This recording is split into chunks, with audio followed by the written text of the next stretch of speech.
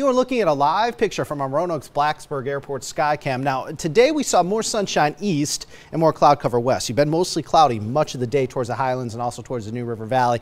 You see more sunshine towards Lynchburg and south side. Roanoke, you're in between. We've seen a mix of clouds and sunshine in Roanoke with more clouds than sunshine, especially over the last couple of hours or so. Let's head on over and show you what the radar picture looks like. And you'll notice that from the southern highlands, say from Allegheny County south into areas in and around Wythe County, we do indeed have have some light snow showers. None of this really falling all that heavily right now, but there could be some bouts of heavier snow showers moving in later tonight into the day tomorrow. Among the folks seeing some snowflakes right now, areas just to the west of Blacksburg, Christiansburg, you just had a few snow showers move through. Areas in around Pulaski dealing with a few snow showers as well right along Highway 100, even if you're traveling along Highway 11 and Interstate 81. You may encounter a few snowflakes here for the next little while. For the day tomorrow, we're looking at highs right around 39 degrees. Looks like tomorrow's going to be a day similar to today in that we're going to see more sun east, more clouds west. We're also looking at uh, the chance for more mountain snow showers tomorrow.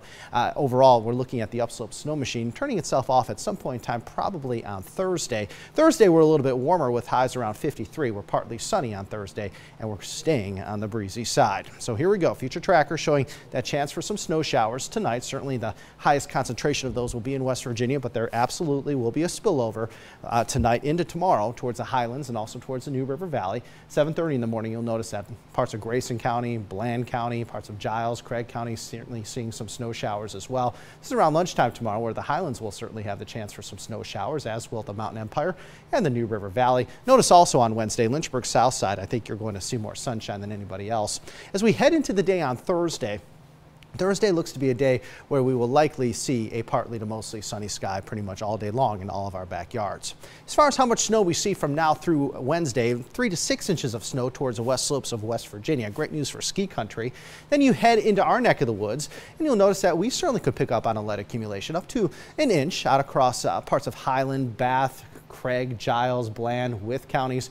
Uh, as you head towards Mount Rogers, say near White Top, you could see maybe a little bit more than an inch of snow, maybe one to two inches of snow, say near uh, White Top and also Mount Rogers. But again, our, uh, our snowfall totals here will be minimal in comparison to what they're going to be seeing across West Virginia.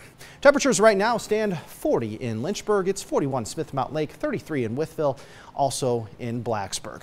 Now, as far as those winds are concerned, uh, they're anywhere between around 7 and 20 miles per hour. The strongest wind right now out of the northwest at 20 in Hillsville. We've had some wind gusts today in excess of 30 miles per hour. As we head into the overnight tonight, we're looking at sustained winds between 10 and 20 miles per hour with some gusts perhaps up to 25 or 35 miles per hour. So winds are going to stay elevated tonight into the day tomorrow, frankly, even into the day on Thursday. Overnight lows tonight in the teens and 20s, but it's going to feel more like the single digits and teens out there when you factor in the wind.